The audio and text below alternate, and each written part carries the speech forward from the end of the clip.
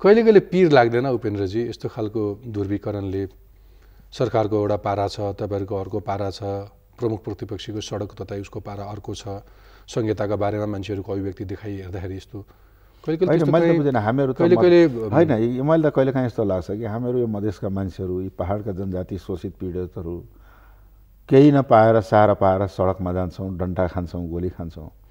तर यो हिजोसम्म एक दिन अगाडिसम्म प्रधानमन्त्री भएकाहरू मन्त्री भएकाहरू पञ्चायत व्यवस्था हटेदेखि अहिलेसम्म मन्त्रालय पड्काइराखेकाहरू किन तिनीहरूले दुःख पाएका हुन् सडकमा गएर भन्दा पनि पीडा लाग्छ त।